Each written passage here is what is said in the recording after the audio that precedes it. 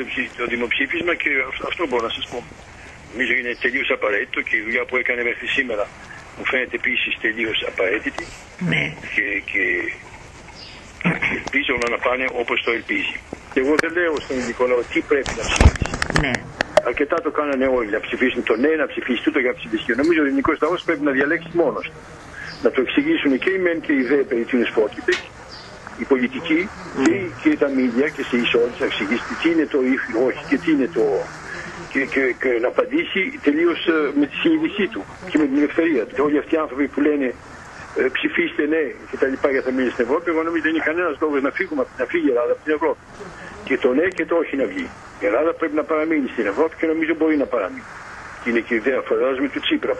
Πόσο σημαντικό είναι, ε, ε, ε, ο, ο σημαντικός είναι ο Τσίπρας σαν, σαν Έλληνας, ε, ε, πώς λέμε, ε, leader, Ηγέτης. ηγέτης ακριβώς. Γιατί από χρόνια δεν είχε η Ελλάδα νομίζω ε, έναν ηγέτη αυτής της ποιότητας. Σκέπτομαι πάντα αυτό το νέο άνθρωπο των 40 χρονών που φτάνει στο, στην, στις Βρυξέλλες μέσα στο τρομερό μέρος όλους τους ανθρώπους, τους ανθρώπους που έχουν μια τε- τεράστια πείρα πολιτική, οικονομική και αυτά και αντίνε- αμήνεται. Εγώ το βρίσκω κατάπληκτο γι' αυτό ότι μπόρεσε να νικεί μέχρι τώρα πιο πολύ και να φτάσει εκεί που έφτασε. Λοιπόν γι' αυτό νομίζω ότι πάνε, πάνε πολύ πολύ καιρός αυτοί, αυτό είδους τους, ε, τους ε, ε, ε, ηγέτες Έλληνες δεν τους είχαμε συχνά. Ε, δεν- όχι συχνά, δεν βλέπω ποιος ήταν εξάρτητο.